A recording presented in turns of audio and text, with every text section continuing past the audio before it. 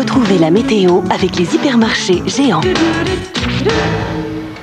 Madame, Monsieur, bonsoir. Incroyable tout de même cette douceur pour une fin novembre. Figurez-vous que en ce dimanche après-midi, vous aviez 22 degrés à Aurillac, 21 à Tarbes et à Toulouse, 19 à Paris. Et cette douceur, on l'a, eh bien, on se la garde pour toute la semaine. Explication avec les images du satellite.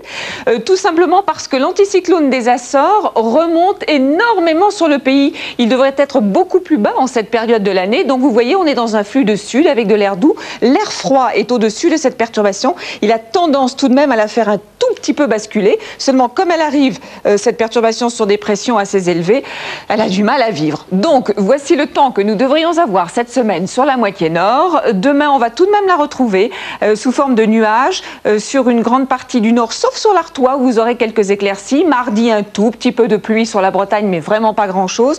Plus on va vers l'est, plus il y aura de soleil. Mercredi, assez belle journée, un petit peu plus nuageuse tout de même sur le nord-ouest du pays.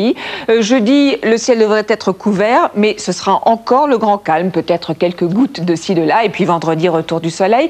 Les températures, regardez, 14, 15, une petite chute, 12, 11 degrés en fin de semaine, mais tout de même, ce sont des températures qui restent au-dessus de celles euh, que l'on devrait avoir. En tout cas, on ne parlera pas euh, de gelée cette semaine. Pour la moitié sud, regardez-moi ça, s'il vous plaît.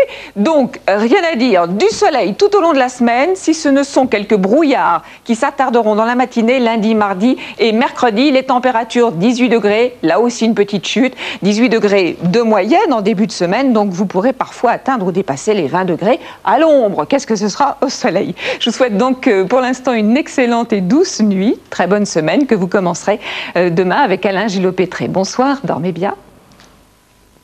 Avec Géant, j'ai envie de soleil.